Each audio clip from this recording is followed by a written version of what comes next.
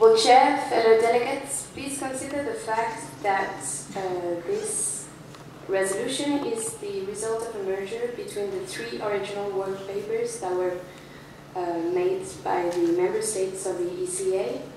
It is the result of a will of unity from all the member states of this committee. It addresses the topic at hand uh, globally, from microcredit finance to the fight against corruption and tax evasion, the will to reform tax systems, and the will to standardize the banking system as a whole. Thank you. Thank you. The Russian Federation, you now have the floor for nine